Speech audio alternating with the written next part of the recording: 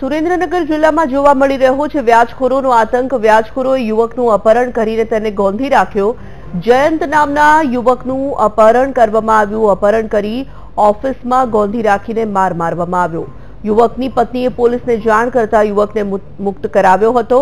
યુવકે વ્યાજખોરો પાસેથી રૂપિયા પચાસ હજાર વ્યાજ લીધા હતા. વ્યાજ નિયમિત ન ચૂકવતા યુવકનું અપહરણ કરવામાં આવ્યું હતું.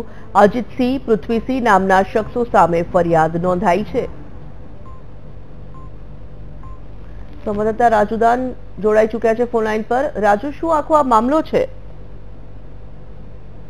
વ્યાજખોરો એટલી વ્યાજખોરી કરી રહ્યા છે કે લોકો ડરી ફફડી રહ્યા છે. આ જયંતભાઈ નામના યુવકે પચાસ હજાર રૂપિયા આ વ્યાજખોરો પાસે લીધા હતા. એમને કડક ઉઘરાણી કરી હતી ત્યારબાદ તેને લઈ જવામાં આવ્યો હતો, એનું અપહરણ કરવામાં આવ્યું હતું ને એને એની ઓફિસમાં ગોંધી રાખ્યો હતો આરોપીએ. બંને આરોપીએ પોલીસે પકડી લીધા છે. ત્યારે બીજી તરફ જોઈએ તો ડીવાયસપી ને આજે ભોગ બનનાર યુવક છે. એની પત્નીએ જાણ કરતા સમગ્ર હકીકત બહાર આવી હતી અને હાલ પોલીસે આ વ્યાજખોરો સામે કડક હાથે કામ લીધું છે. ધન્યવાદ વિગતો માટે.